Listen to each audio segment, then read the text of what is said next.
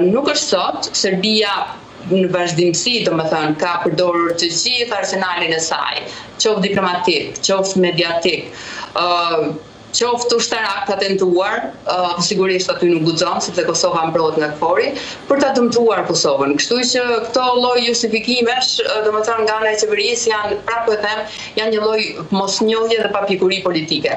Forcimi i raporteve të Kosovës me vendet e Bashkimit Evropian, sidomos me Gjermaninë dhe me Francën, të cilat duket qartë që tashmë nuk i besojnë më kësaj qeverie, ata mbështesin Kosovën, por nuk i besojnë kësaj qeverie, do të ishte zgjidhja.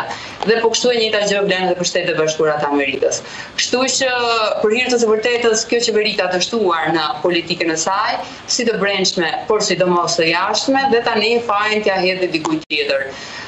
Çdo lloj dështimi i faturohet qeverisë. Serbia është ajo që ka qenë dhe do të mbetet ajo që është.